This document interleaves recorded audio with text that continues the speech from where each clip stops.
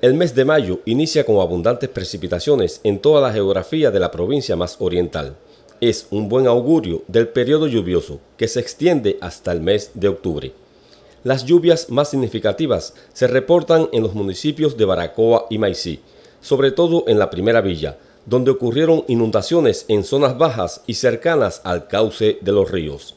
Sin embargo, en el resto de los municipios resultan muy beneficiosas, sobre todo en la agricultura, pues la humedad en los campos resulta imprescindible para que germinen las semillas en buenas cosechas. De igual modo, la ganadería es otra rama que resulta favorecida, pues las principales áreas están ubicadas en zonas de muy pocas precipitaciones, sobre todo en el municipio de Niceto Pérez.